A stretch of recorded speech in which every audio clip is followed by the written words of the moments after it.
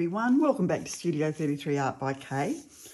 I've been requested to do a cheese board or charcuterie board um, for someone for a present for Christmas and I've been asked to do pinks. Um, so I've just done one, which I've done quite a different pattern altogether, but I thought I wanted to try just doing um, three blooms on this one and I've got this whole array of um, pinks here, which I'll go through in a second. Um, so I'm just going to lay down a base and I've drew, drawn the basic shape that I want. Um, and then I'm going to do three blooms, one here, two, three. Um, I think I will do some, a little bit of leafage though, which I haven't got the paint out for, which I'll just do now. So I think for my greens, I'm going to use the Eraldo Green Light, which I love. Um, and the Eraldo Metallic Palm Green. So it's sort of a bluey tone green, but I think it'll go nicely with the pinks. Um, and the bright green goes well with everything. Um, so I'll do those. So I'll just run through the colours that I'm going to use. So as a base, I'm going to use the Eraldo Rose. Most of these are Eraldos today. Um, I'm going to use the Mont Marte Metallic Magenta, Mont Marte Metallic Pink, and then the Eraldo Metallic Fuchsia, Eraldo Magenta, and Eraldo Metallic Magnolia, and Mont Marte Pouring Paint Gold, and the Amsterdam Oxide Black as a cell activator. Um, so, without further ado, I'll lay down my base. Um, I'm just trying to think. Yes, so I'm just going to lay down my base and um, go from there.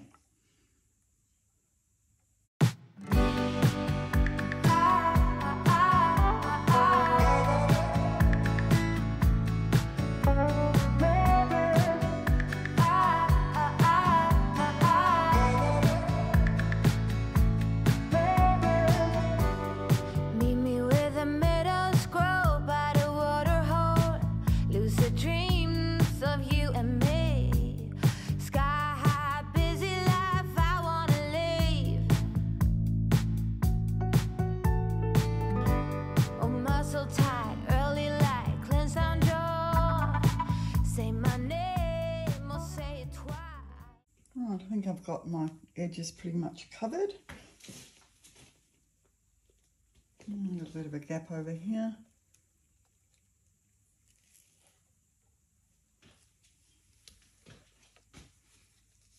I don't usually put any gesso or anything down, but you can if you like, and it would help the paint to stick on the edges. Um, mostly the paint will stick, but I'm seeing this is sort of going a bit thin on the edge, so I'll have to check that when I've finished and uh, make sure there will be enough paint on there. So now I'm just going to burst the bubbles.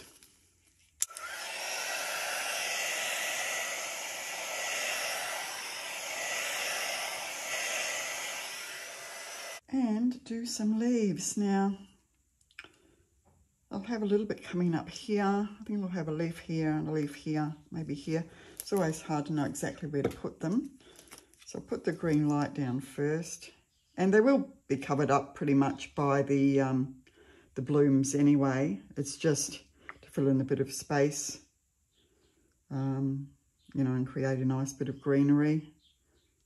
So I'll just randomly put them and what stays, stays and what disappears, disappears.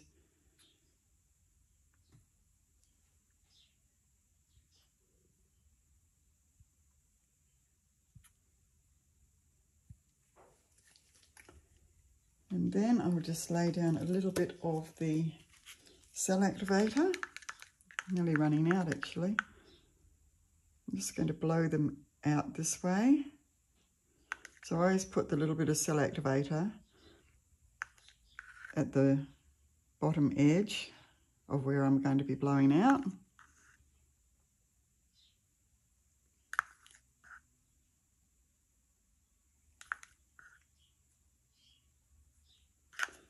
Okay, oops.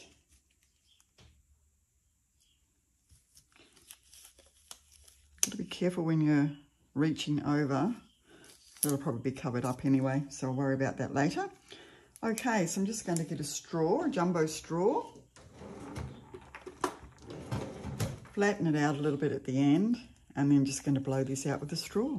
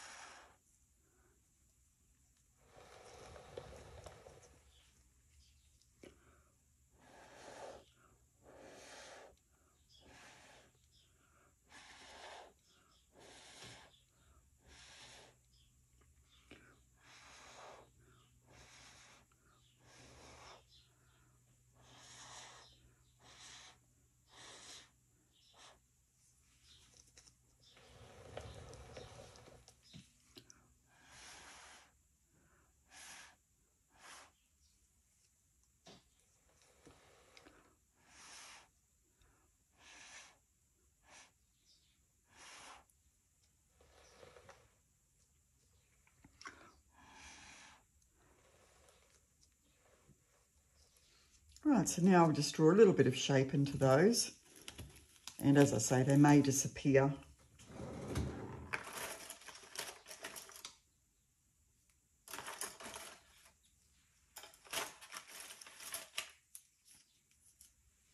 So I'm just using a bamboo chopstick.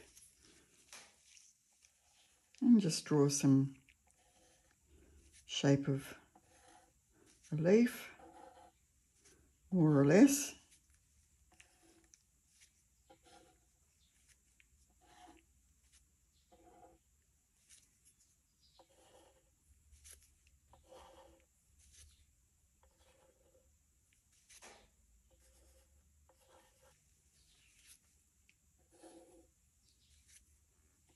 Got some beautiful veins and cells on them. These leaves are lovely.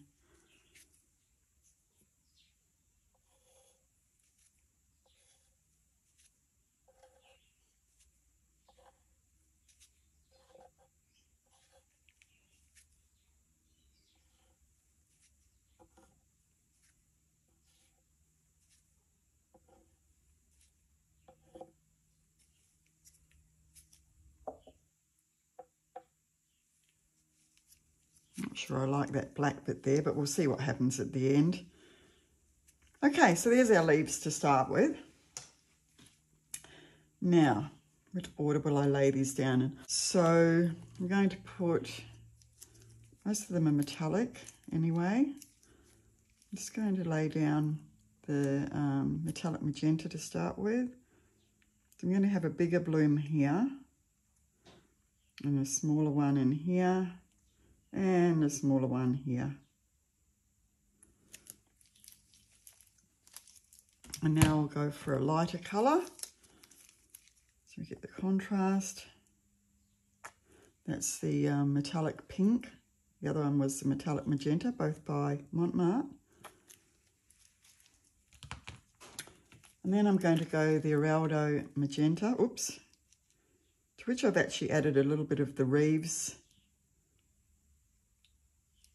um, what's it called? I'll just get it for you. It's the Reeves Iridescent Medium, and it's beautiful if you add it into um, paints. I don't know if you can see it there, but really brings a beautiful shimmer uh, into any paints. It's particularly good if you put it in with a transparent paint, it'll show through better. And this is the Eraldo Metallic Fuchsia.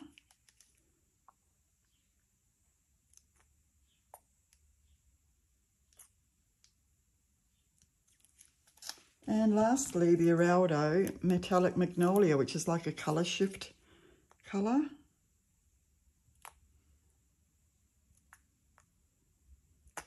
Now I'm feeling like I need a little bit more of the paler pink, again, which is the metallic pink from Mont Marte on there.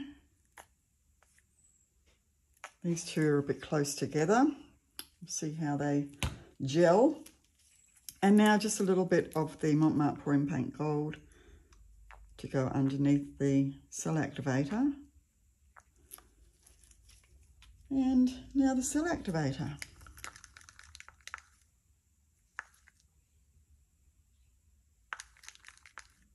I don't want to put too much. A couple of little drips is all I need.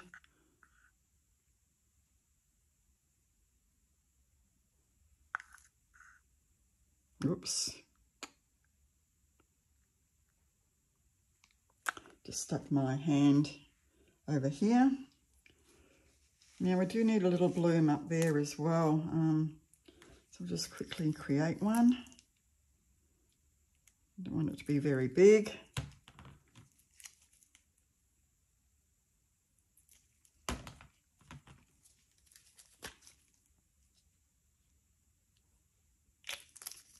Oops.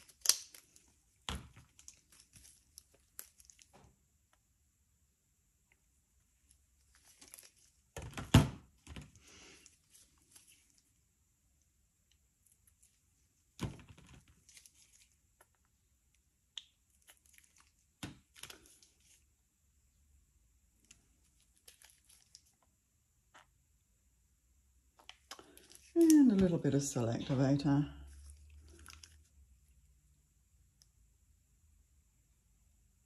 Okay, so I'll blow that little one out first. I'll just burst some bubbles so.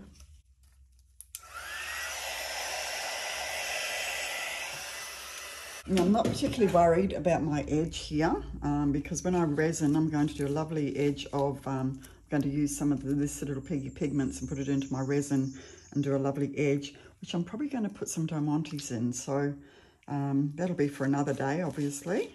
And I may record that when I do that as well, just to show you what I'm going to do there. Okay, so I'm just going to blow this one out.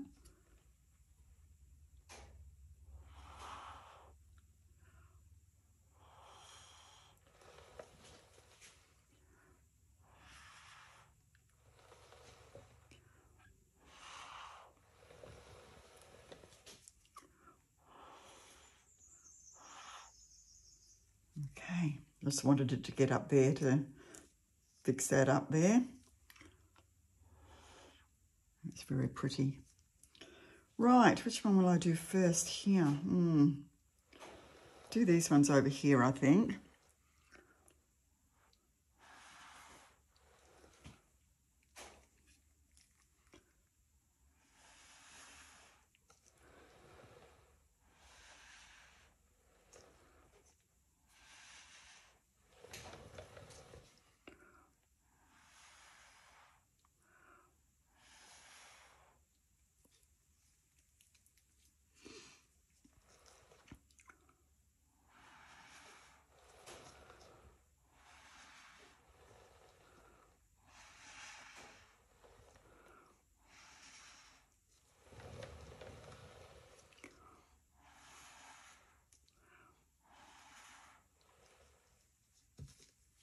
They blend in okay together.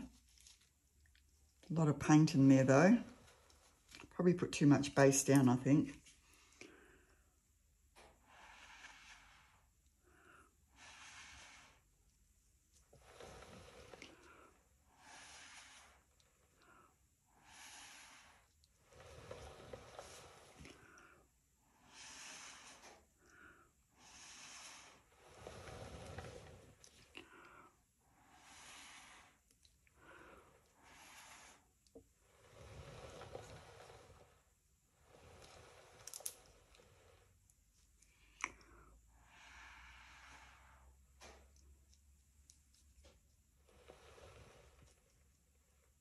Right, we'll see what these look like once I draw some shape into them.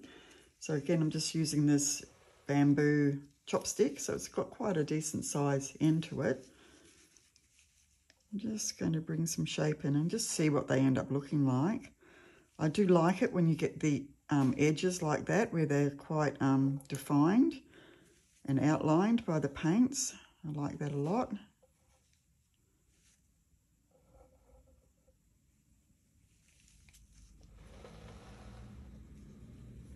The gold has taken over quite a lot, even though I only put a little bit on there, which it often does.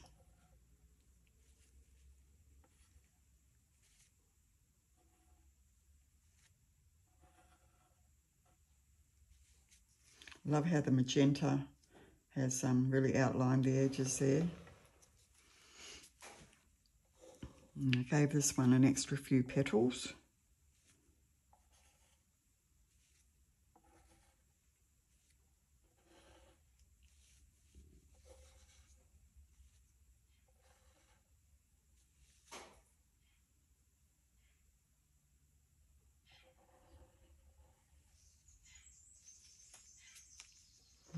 Right, well they're really pretty. I think I'd like to do just a small one to go over the edge here. Just a really little one. Can I do it really little though? This is the question. Should be able to.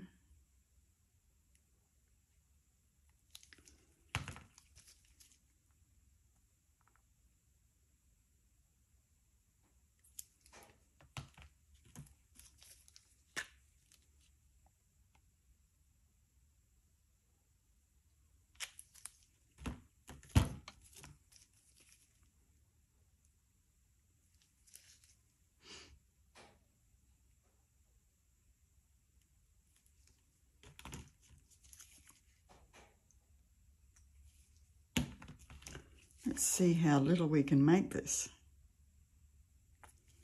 I don't want much gold, I just literally want a drip. Because I do feel these have got, you know, a lot of gold in them. This guy's not so much, but um, so that's a drip, literally a drip. And just a drip of cell activator. That's it. Now let's see how small I can blow this out.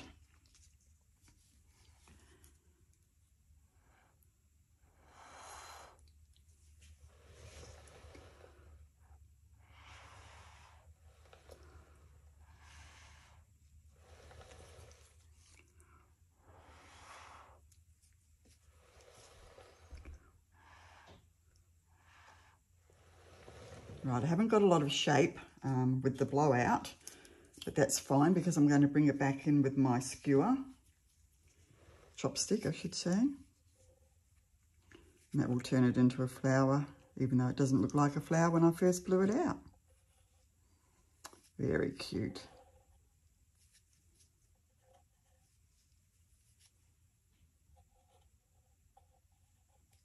And it's run over the side, which is nice. I like that. And I might put another tiny one just here because that one turned out so nice. Okay, here we go again. Just a little one again, tiny, tiny.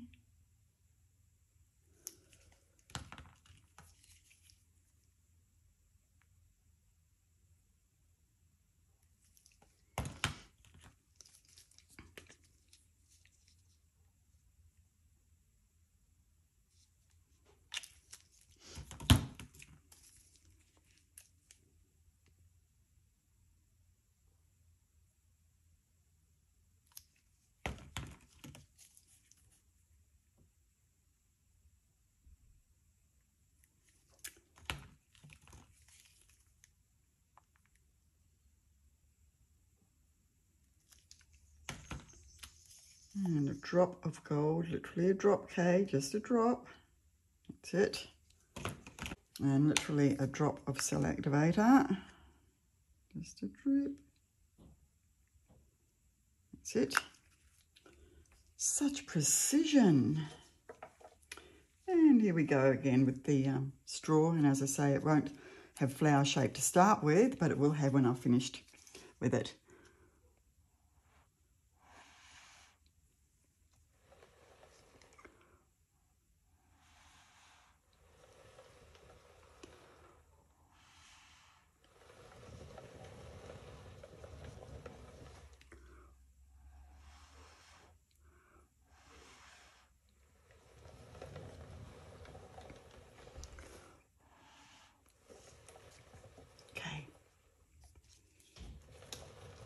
And I'm not worried about um, that being on the edge like that because as I say, I'm going to do an edge of um, resin at the end. Um, when I resin it, I'm just going to do a whole edge.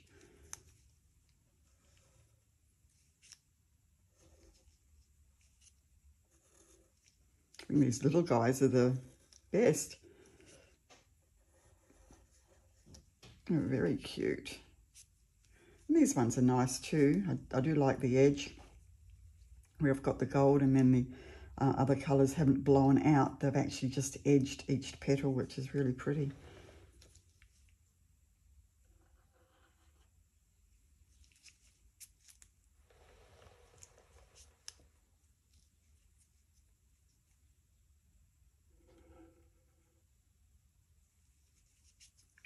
Let's do a few little wispies.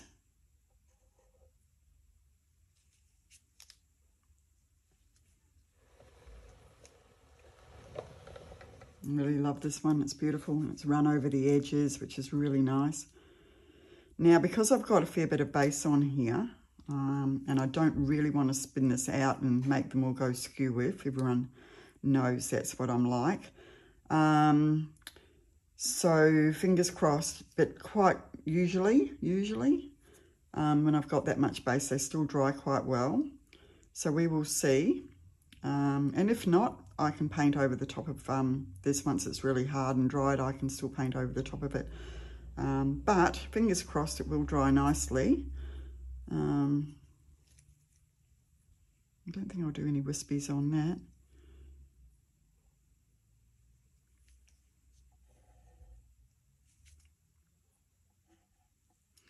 Draw a little bit more shape into these leaves.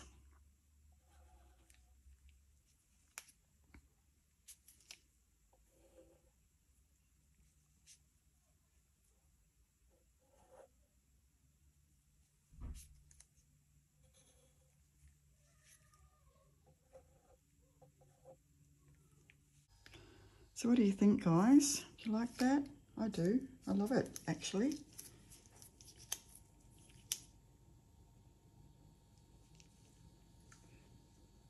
Yeah, I'm sort of tempted to do one little spin just to thin it out a little bit. Um, am I going to hate myself for doing this though? Just a slow spin.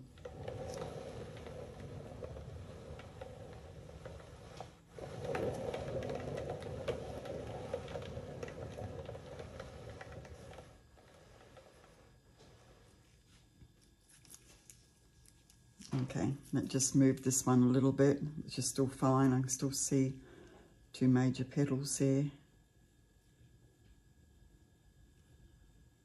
everything's still fine. So I did um, move a little bit of paint off. Now I'm just going to check my edges because the paint didn't stick very well to some of the spots here. So I'll just um, double check those. Just do a little finger pops along the edge. Just helps that paint to sit on the edge there when you're doing these boards. Generally they um, are pretty good actually without having any primer coat on there.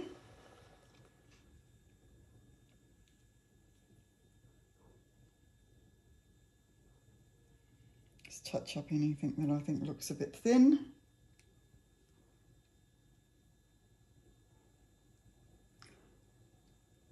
And when it dries, if any of it is looking still a bit thin, I can just um, very gently touch it up on the edges anyway.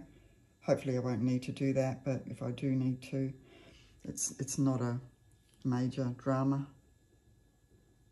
You do want to have the paint right on the edges there.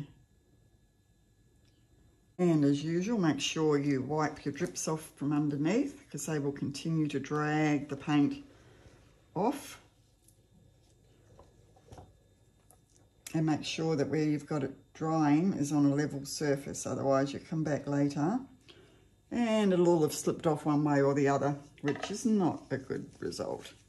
But I love this. I think this is really lovely. I really do like it a lot. I think I just want to do a little wispy bit into here into that little bit of negative space.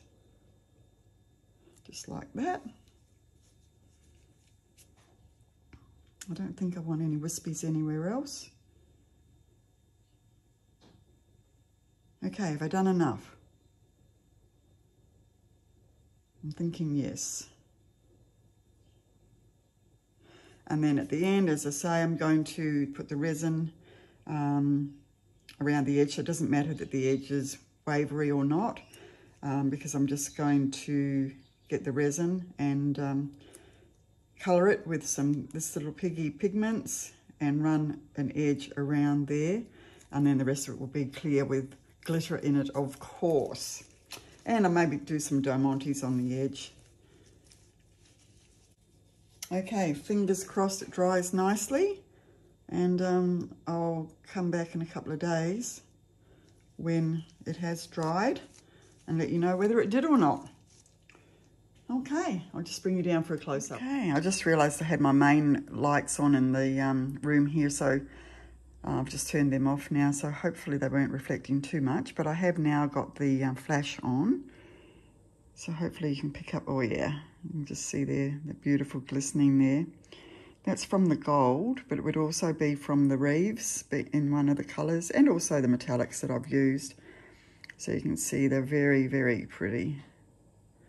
And the leaves are just plain. There was a little bit of um, metallic in the leaves as well. But they've turned out really beautiful. The flowers have got that bit of um, colour around the edges, which I really like it when I blow out a little bloom and you get that edging there. Another little cutie over here. And that one there I really love too. The leaves are very pretty, very veiny, as I would call it. Lots of lovely veins in there. And there's their main flower there, which is very delicate and pretty. You wouldn't realise how many colours. I mean, how many did I have? One, two, three, four, five pinks in there. You wouldn't think there was five, uh, but there is. So that's it for today, guys. Hopefully you enjoyed that one and, um, and learned a little bit more about uh, blooms, blowing them out with a straw. And I'll come back when this is dried and we can see um, whether in fact it did dry even though my base is quite deep. Um, so we'll go from there. Okay, so I'll see you back here soon. Well, here we are two days later and this piece has dried beautifully. I was worried that the base was a bit deep, um, that I might have trouble with cracking, but it hasn't at all. Um, it's not cured by any stretch, but it is touch dry. And um, it's looking really beautiful. Look at that gold. It's going to look so lovely when I put some um, glittery resin over the top. And I am going to be um, trying putting some diamantes in the middle of the flowers and also around the edge of the board. Um, so when I do that in the next couple of weeks, I'll also video that so you can see that process and how that turns out. Okay, so hopefully you enjoyed that one, guys, and I'll see you back here in Studio 33 in the not too distant future. Until then, stay safe. Bye-bye.